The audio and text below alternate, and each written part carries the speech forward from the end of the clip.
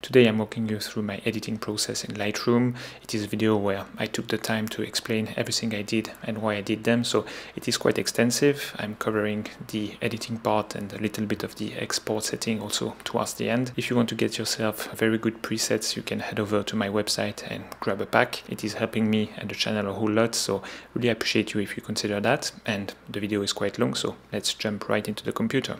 So here's a version of that photo I edited uh, yesterday and this is the before this is the after and let's reset that and start from scratch. The first thing I like to do is enable the lens corrections uh, removing the chromatic aberration and the profile corrections. And usually what I like to do is keeping the distortion correction but um, depending on the photo I like to keep the vignetting so I will uh, slide this uh, this down to, to zero. I like the organic vignetting of, uh, of the lens I'm using, but correcting the distortions give a better starting point with straighter line um, when you move on to the upright uh, to uh, correct all the lines and having a, a perfectly uh, correct perspective. Talking about perspective, this is the second step of my editing process, and I usually try auto and vertical and see which one I like best. I think here um, I might prefer auto and when neither of them uh, actually work I would try the guided like trying to um, make the lines by myself but here I think it works well. Um, so I will keep uh, the auto uh, perspective now that my lens correction and transform have been taken care of I like to minimize the panels to um, make it as clear and as tidy as possible. And from there I usually crop my uh, photos. Um, here I will keep it vertical and I will keep the original uh, 3 by 2 aspect ratio. And as for the crop I like to put my uh, my subject a little bit more in the center. Um, also I oftentimes use the crop to uh, clean a little bit Uh, my composition. Here we see we have a little shadow and if I crop a tiny bit more, I can remove things without using the spot removal tool. I think in terms of the crop, we are good here. Our subject is not exactly on the bottom third, but still the start of this little house is somewhere on this bottom third. So, so I like how balanced is this composition now. So I'm happy with that. Next step is the basic settings. And as for the profile, I like to um, edit my photos in the Adobe Color Profile. It is a pretty neutral uh, color profile so when I create edits and presets uh, I can apply them to files from any camera so that's why I always like to use uh, any of the Adobe uh, standard profile color standard sometimes portraits but rarely the landscape and vivid one here I'm pretty happy with the white balance because I usually shoot in camera with the daylight um, default settings. Um, sometimes if I'm not very happy I try to uh, to uh, use the default daylight from Lightroom. It is quite close, so it's a little bit more green, and the temperature is at 5500. It is usually a good starting point. Next and very important setting is the exposure, and here we have a very contrasty scene, so we'll have to reshape the exposure with uh, with the highlight shadows uh, settings, with the tone curves, and at a later stage uh, the masks, uh, and definitely here moving the the overall exposure is not helping that much so I will keep it at zero because uh, it is pretty balanced and then we'll uh, make further more localized adjustments. And moving on to the highlights what I like to do sometimes is holding on the shift uh, key and double click on the highlight or any of these um, of these uh, settings. When you do so it gives you what would be the auto setting, um, the auto adjustment for that particular setting only, not for the whole basic settings. And here I see that Lightroom considers that minus 81 is a good spot to recover all the highlight details.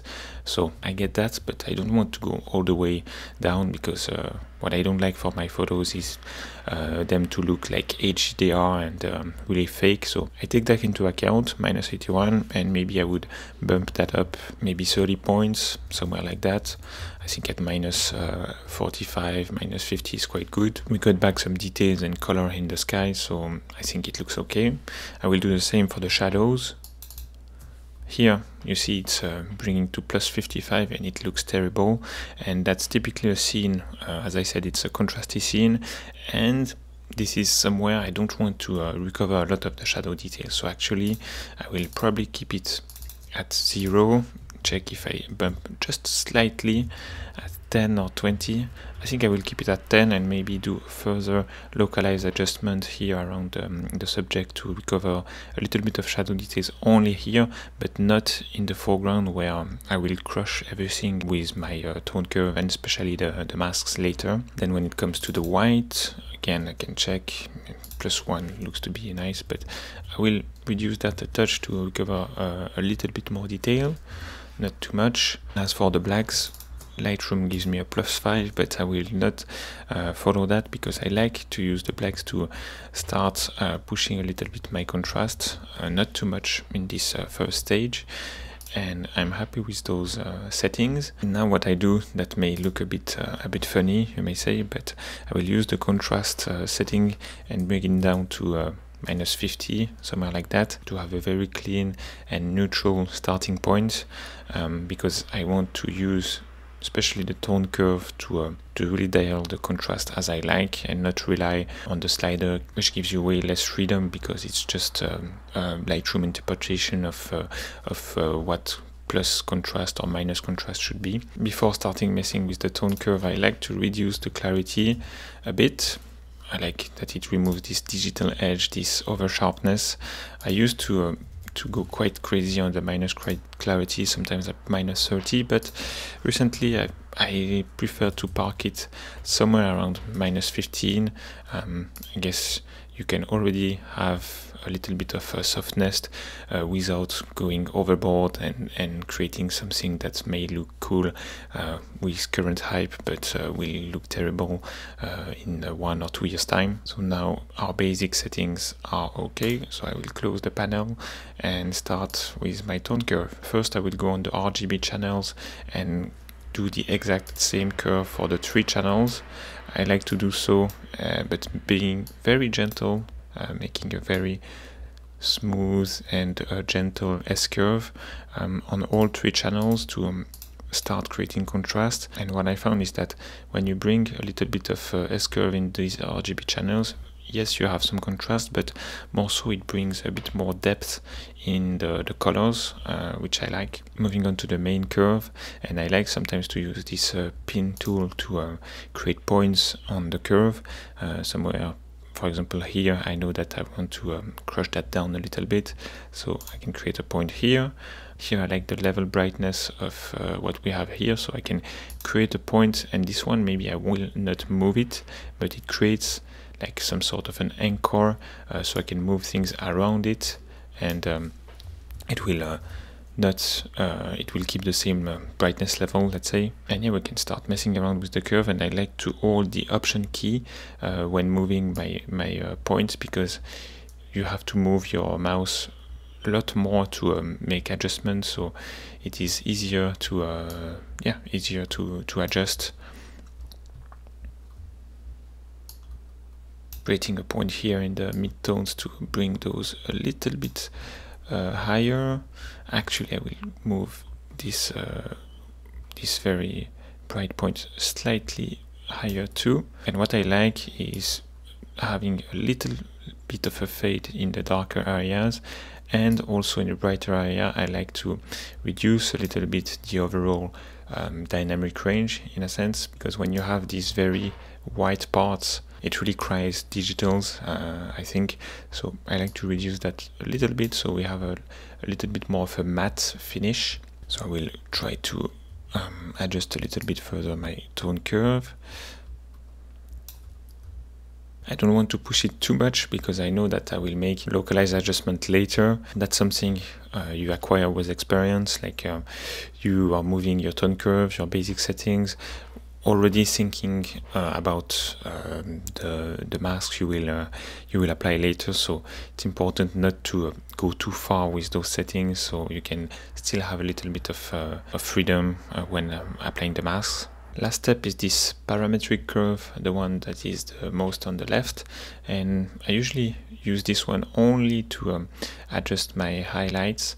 I like to um, move this anchor point more towards um, towards the end and then reduce my highlight to further increase this uh, matte finish Um, you can bring it down to minus 40 up to minus, uh, 60. I think it uh, can look quite good. I'm happy with my tone curve adjustment.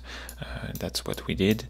And we can now move on to uh, the colors. And I like to start with the color calibration. Um, the color calibration is different from the HSL. It affects the red, green and blue pixels. And I like to move the blue a little bit towards the left. Um, not too much because then you have too much of a teal and orange, a very cheap kind of look. So around minus 10 is a, is a good place to be. Then if you increase the saturation of the blue, I think it creates a lot more depth in the color. So I like to um, bring it up a, a, touch. Then for my green primary, depending on what I go for, I may uh, do something differently. But my green, I like when they look actually green and not uh, yellowish. So I move my green primary to um, to the right more to this um, green aqua uh, side. As for the reds I will keep it in the center but I will move my saturation a touch. Um, plus 10 I think is the right place to be. And then I will add a little bit of green in the shadows. Um, yeah, I like the, the adjustment it makes. It's different from the color grading. It's a bit more uh, refined I think. So minus, uh, 6 somewhere like that.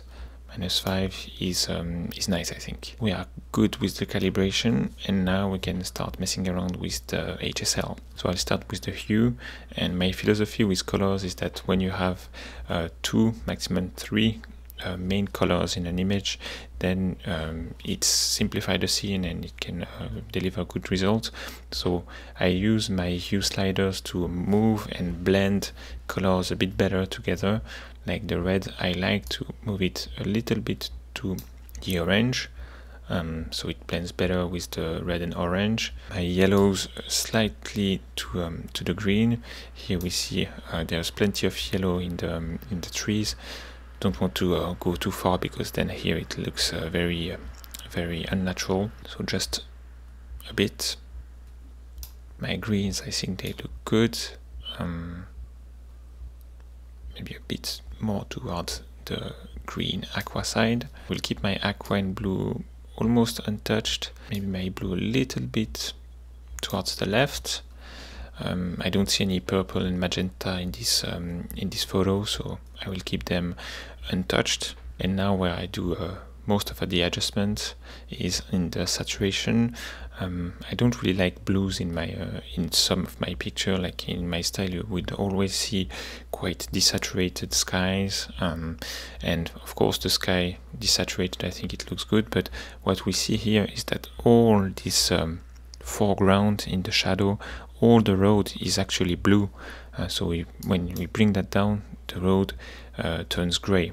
This is uh, too much this is just for demonstration but um, here clearly I don't see any point of uh, keeping this um, the road and the foreground uh, blue so I decrease the blue saturation quite a bit around minus 35 and I make sure to adjust a little bit the aqua so it's again more blended together because sometimes you have nuances of aqua and blue and if one is very high and the other one is very low you can have some artifacts and um, uh, not smooth transitions. To have darker and deeper greens I like to reduce also the saturation of the greens.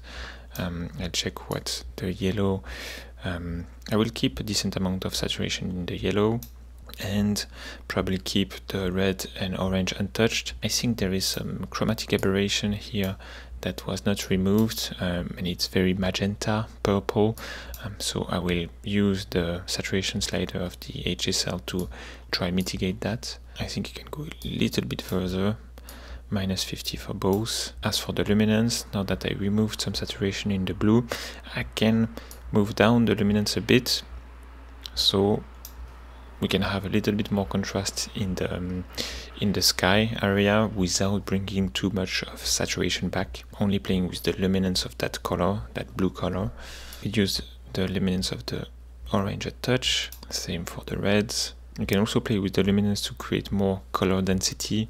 I think it's a mix of, of luminance, saturation, and the calibration that we uh, that we played with before to create a lot more um, color density. If I reduce the luminance of the purple and magenta because we had this chromatic aberration, I think it works well to to um, bring back some of these uh, some of the contrast here. So I can reduce that a touch, and I think I'm happy with the color mixer. Uh, we've reduced um, the blue, which was one of the main and the most important changes uh, with the HSL. We can move on to the color grading, but I close my panel first. When it comes to the color grading, I like to play with complementary colors.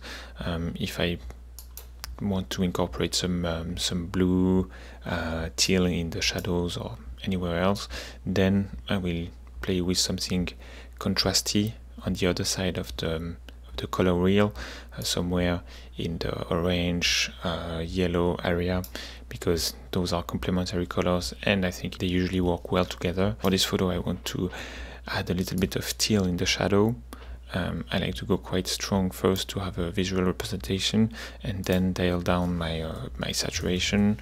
I find that somewhere around 5 up to 20 um, are the good place to be when it comes to the color grading um, adjustments. Um, here I think 12, 13 looked great. I want to play with the contrasty, the opposite color, but I will use the midtones to do so. Um, somewhere like yellow, orange. Um, I think it's good and it's really bring more warmth uh, from this uh, sunlight that we have here. Uh, of course 46 is uh, way too strong. So maybe we can dial down around 20 something. 20 yeah 20 looked good. Um, highlights maybe uh, contrast that with a touch of teal again but very minimal like plus 5 and when it comes to the global I like my photos to uh, feel a bit warmer so I use the global to uh, reshift everything to uh, towards the yellow orange area. Uh, not too much the global are pretty strong usually so I go not over 5 or 10 in some scenarios. I think around 7 we are good and this is the effect of the color grading maybe I will adjust further my midtones more towards yellow. Um, a bit less saturation in the teal in the shadows. And I think it looks quite good. Maybe a bit more saturation in the global adjustments. So let's do a quick before and after to see what we've done so far. It looks natural but it is stylized which is really the the goal um, of uh, of my editing process. I want my photos to have a style, to have a, uh, an identity without making them look uh, completely unnatural. And now we can move on to the fun part, which is the masks. And clearly, I will use the mask to reshape my uh, my exposure, bring a lot more attention here to the um, to the subject, removing a lot of the attention and removing exposure here in the foreground, keeping the sky where it is approximately. And if we look at the light, we see the shadow is going from right to left, so we can assume that um, the sun was coming from, from the right here, so we can uh, accentuate that with, uh, with the masks there are plenty of ways you can play with the with the mask because now we can add we can subtract things and it is very powerful. Here to um, adjust my foreground I will use a linear mask and I don't mind covering um, our subject because here I can use the high feather and then subtract for example a radial gradient again with a high feather to um, really make the adjustment as natural as possible here is the affected sections and I can start removing some exposure removing some of the shadow and try to see what blacks are doing. We are getting quite contrasty. I kind of like that. May sound counterintuitive because there's not a lot of white here anyway but reducing the white make sure that you remove um, the edge, remove that, that brightness on some element of the foreground to really um, really catch the viewer's attention and redirect it to, um, to your subject. So I'm pretty happy with these adjustments. Now I'll create a radial gradient coming from the right side. As we said, the sun was, was on the right, something like this. And we can maybe just increase a touch the exposure and the white, really not too much.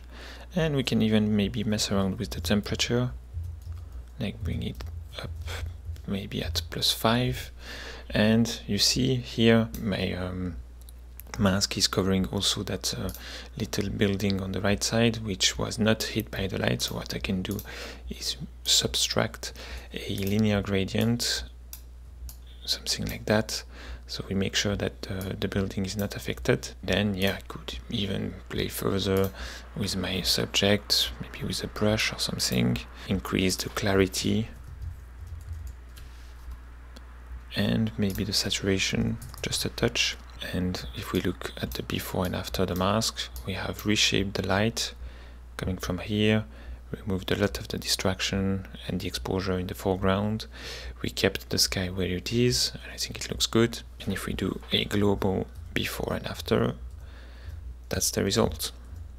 Last step depends on what you want to go for but I want to add a little bit of grain something not too harsh. So I will bring it to plus 25 my size to 35 somewhere like that. And I like this kind of setting for a more fine grain. It's not too obvious but it looks it looks nice. And now if I want to copy paste or create a preset out of these settings this is what I would do. Um, keep the profile in. Take away the white balance and exposure because they are very individual to each photos. Then I keep all the remaining settings the curves color mixer color grading detail. I didn't do any uh, um, detail sharpening adjustment so I leave that out. Lens correction is also a photo to photo um, adjustment uh, because I want this to be applicable to photos taken with another camera with another lens so I leave that out. Transform to is, is very individual um, to each photo then effects. We had some grain so I can keep that in sometimes. For my presets I don't want to uh, have grain uh, in them so I leave that out and then add grain um, if I want calibration. Of course I keep that in. HDR mode is something new in Lightroom. I've never edited HDR photos but I keep it like that I have no problem. And the masking also is a very individual photo to photo uh, setting so I leave that out and then I can copy my settings. And now we can try to apply those settings to another photo uh, but when I do so I start just like before with the lens correction um, here I think I will not keep all the vignetting maybe leave it somewhere at 60 check my lens correction. Here we have straight lines. Um, let's keep it the auto. But here I'll crop a little bit because you see there is a little gap between the building and the sky so I'll crop just a touch so we don't have this weird uh, little gap here we are white balance looks okay if I try auto it brings a little bit more warmth which look good, but yeah, I will dial it down to uh, 5750. Tint, I think somewhere at 14 looks good. The overall exposure, again, is, is, is looking good, so I leave it there and then use maybe uh, localized adjustments. And here I can paste my settings. First thing I notice is that it's a bit too warm and my highlights are too crushed, so I will move my highlights up again but what we see is that the color grading uh, was a bit too uh, strong it worked well on that previous photo but uh, not in this one so that's what you have to go through to create good uh, presets good starting points because um, not everything is working on all pictures and and good presets for me um, they are a good starting point for almost any pictures so I can dial my color grading a bit better. I went a bit too far maybe in the global adjustment and in the midtones. Maybe a bit too orange, so I will move that back towards yellow. I think now it looks good, so maybe it's more like the overall temperature that was too warm. Um, boost the exposure a touch.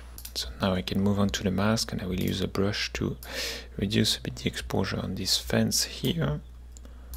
Very simple, just the exposure setting. And I'll show you something with the again with the brush. If you have a very small brush like this, you can create one point at a corner, for example. Then you make your brush very large and you go to the other corner of the frame and you maintain the shift key and click again and you see it creates this cone shaped uh, yeah adjustment uh, going from that first that first little point to that big point actually you can do the same just to create a straight line here and not without changing the size. Uh, when you you when you maintain shift and you click new points you can make those adjustments and have very straight lines. But as uh, we've seen you can also um, adjust the size in between and it will create these uh, cone things. I think it's very powerful to accentuate a source of light.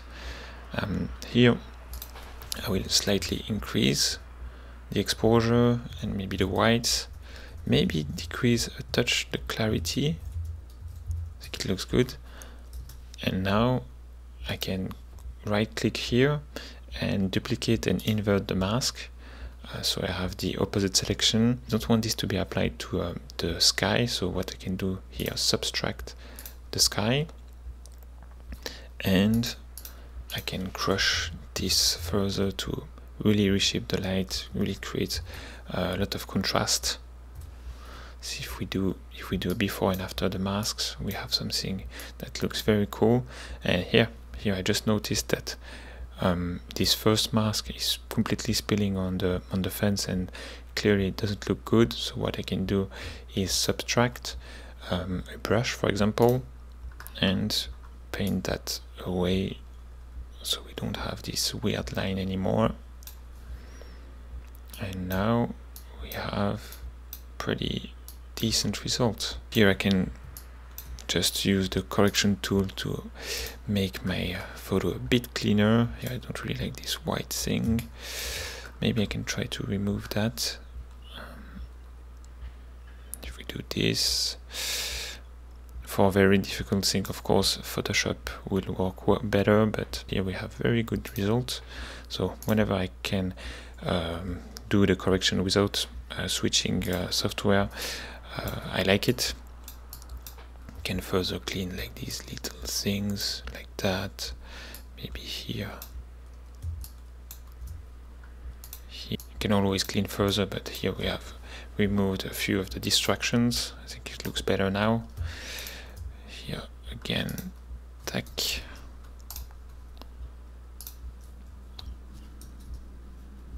And yeah let's do a before and after pretty happy with the results. And now that we've fine-tuned a little bit our adjustment, I can copy again and apply that to another picture. Same process. Yeah, here I will keep the, the vignetting correction. Auto works well. I'll crop it to remove the little gap here. Just like that. Paste my settings. It's a bit too dark, so I can move my exposure up. I don't want my sky to be brighter so I keep it like that. And then I can select the sky invert the selection and move the exposure and the whites a touch maybe also the shadows. But to keep a decent amount of contrast I move the contrast up.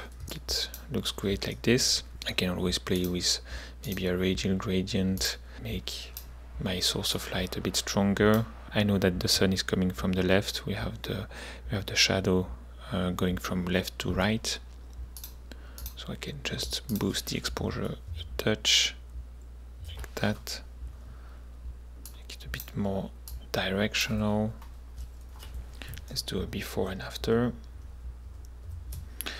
looks good now if I want to export these photos um, I don't do anything crazy actually. Keep my format to JPEG quality quality to 100 I don't do any resize to fit. Um, sharpen I sharpen for screen standard. I think that's the default option in, um, in Lightroom. And that's pretty much it. Even if I were to post any of these on Instagram the landscape rotation I would keep uh, this crop. But for the vertical one I would crop to 4 by 5 which is the which is the format for Instagram 4 by 5 then when exporting again I don't touch any of these. Quality to the maximum sharpening uh, standard. I don't do uh, any image resizing and I think it works well Thanks a lot for watching. I hope you could get a lot of value out of this video. Um, there will be a link in the description to uh, download the preset I created throughout this session. It's totally free and you can have a taste of how my other presets look like. And yeah, let's catch up in the next one. Bye.